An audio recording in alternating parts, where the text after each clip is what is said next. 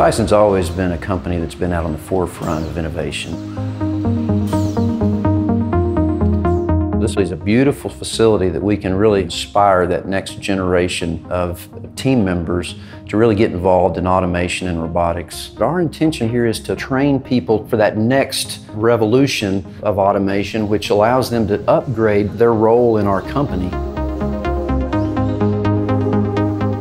We can uh, bring together the, the, top talent around innovation and, and, automation and robotics to try and create some really uh, outstanding solutions for our uh, operations.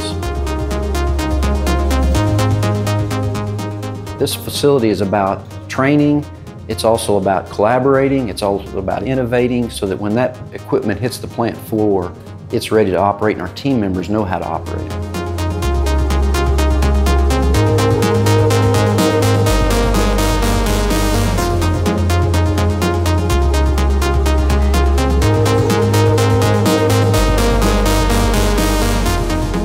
This is really a facility dedicated for our entire company. Anyone can come here, collaborate uh, with the operations team, the technical team to create those solutions that are really going to make a difference for our company.